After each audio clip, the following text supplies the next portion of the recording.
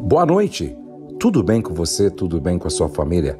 Pastor Josué Gonçalves aqui para mais um momento devocional. Lendo a palavra, meditando na palavra e orando a palavra. Bom é estarmos aqui juntos mais uma vez para aprendermos da palavra de Deus e sermos edificados. Sabe, eu fico tão feliz quando ouço testemunhos por onde eu passo de pessoas que estão todos os dias orando comigo, meditando comigo. Isso é uma bênção. Hoje eu quero falar com você sobre sorria. é isso mesmo, sorria. Provérbios 15, verso 13 e 15 diz assim: O coração alegre formoseia o rosto mas com a tristeza do coração o espírito se abate. Todos os dias do aflito são maus, mas a alegria do coração é banquete contínuo. Falar de alegria, de sorriso, é sempre muito importante. A ciência descobriu que sorrir fortalece o sistema imunológico, baixa a pressão arterial e oxigênio o sangue. Na verdade, sorrir é uma coisa muito séria. Paulo disse: alegrai-vos. Outra vez vos digo: alegrai-vos. Já Neemias disse: a alegria do Senhor é a nossa força. O salmista disse: quando o Senhor restaurou a nossa sorte, nós ficamos como quem sonha, e a nossa boca se encheu de riso e os nossos lábios de um hino de louvor. Sabe, as Escrituras revelam um Deus que sorri. Isso mesmo, as Escrituras revelam um Deus que sorri, um Deus feliz, um Deus alegre. Olhe para a natureza e veja as cores, os tons e a variedade. Deus não tem problemas de humor. Outro dia, ouvindo um pregador, achei interessante o que ele disse. Ele disse: se você quer saber se Deus tem senso de humor ou não, Olha para a girafa com o pescoço daquele tamanho. Olha para é, o rinoceronte com aquele chifre na ponta do nariz. Olha para a zebra da forma como ela é pintada. Olha para o tucano, o tamanho do bico do tucano. Olha para o pavão. Olha, um Deus que cria animais, aves assim, é um Deus que tem senso de humor. É um Deus que sabe sorrir. Deus não tem problemas de humor. O profeta disse: Saltareis como bezerros na estrebaria. O choro pode durar uma noite, escreveu o salmista, mas pela manhã virá a alegria. Há inúmeras razões para sorrir.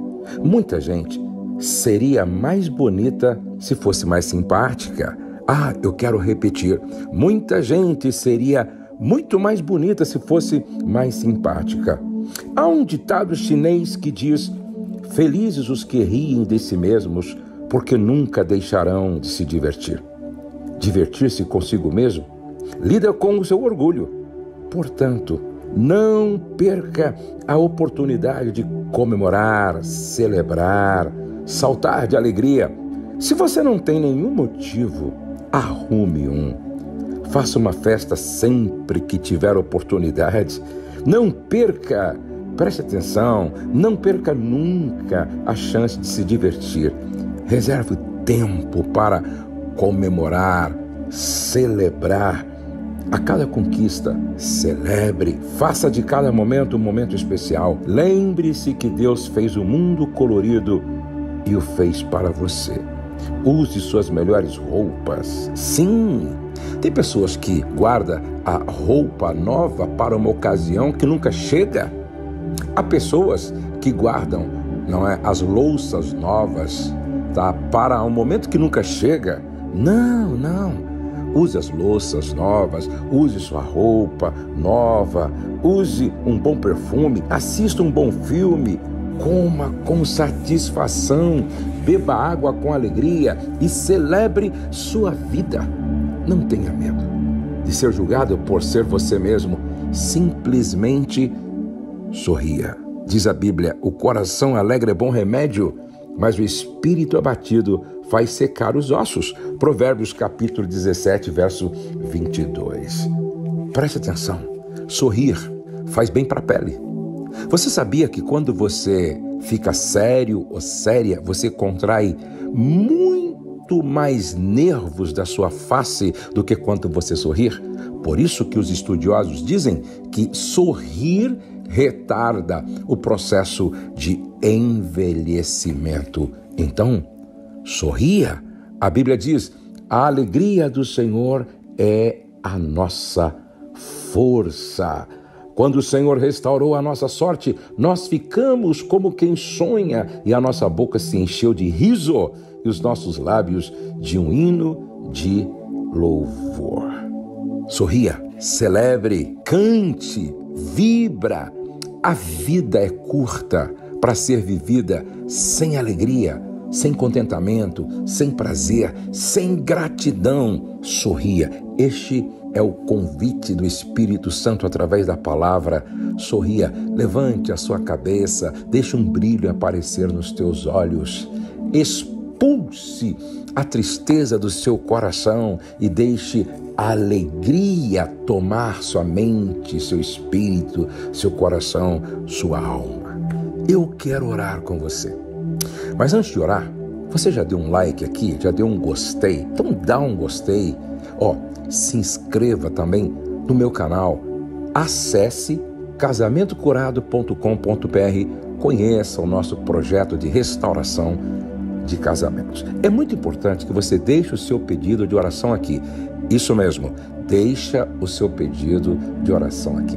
Todos os dias nós estamos orando, intercedendo por centenas e milhares de pessoas. Ó, peça oração, deixa um pedido de oração para sua mãe, para seu pai, para seus irmãos, para seus vizinhos, para a igreja, para o pastor, para alguém do trabalho. Deixa aqui o seu pedido de oração. Sorria. Vamos orar. Pai, louvado seja o teu nome pela tua palavra, que sempre vem ao nosso coração de uma forma muito clara, objetiva. O coração alegre formoseia o rosto. Senhor, então que o nosso coração esteja transbordando de alegria. Ajuda-nos a entender que a alegria do Senhor é a nossa força. É no Senhor que nós encontramos a nossa razão de viver e a fonte de toda a nossa alegria. Senhor, e que nós não percamos nenhum motivo para celebrar, nenhum motivo para festejar, nenhum motivo para nos alegrarmos, que todos os dias pela manhã nós possamos contemplar as tuas maravilhas, para nos alegrarmos naquilo que o Senhor fez, está fazendo e ainda fará, e que a tua alegria em nós contagie as outras pessoas e que nós possamos viver com esse espírito de satisfação, de prazer, de alegria. Pai, dá que os meus irmãos que oram comigo agora também celebrem, vivam de forma espontânea, vivam Pai, uma vida que vale a pena ser vivida. Ó oh, Pai, nós repreendemos todo sentimento de tristeza, de desânimo, de angústia, todo sentimento, Senhor, que perturba, que incomoda, que faz a vida ser pesada. Eu abençoo cada pessoa que ora comigo agora, para que elas possam viver com o coração transbordando de alegria. Pai, eu peço que seja assim no nome de Jesus. Sorria. Isso mesmo, sorria. Você nasceu para vencer, você nasceu para dar certo, você nasceu para louvor e glória do nome do Senhor. Esboce um sorriso. Você nasceu para ser uma bênção e, consequentemente, um abençoador. Olha, o céu não está em crise, Deus está no controle, nós cremos em milagres e tudo podemos daquele que nos fortalece. Um grande abraço e até o nosso próximo encontro. Não se esqueça que todos os dias nós estamos aqui às 6 horas da manhã e às 19 horas. Espalhe para todas as pessoas que você quer bem. Mande esta oração, esta reflexão para uma pessoa que você quer muito bem. Deus abençoe. Um grande abraço.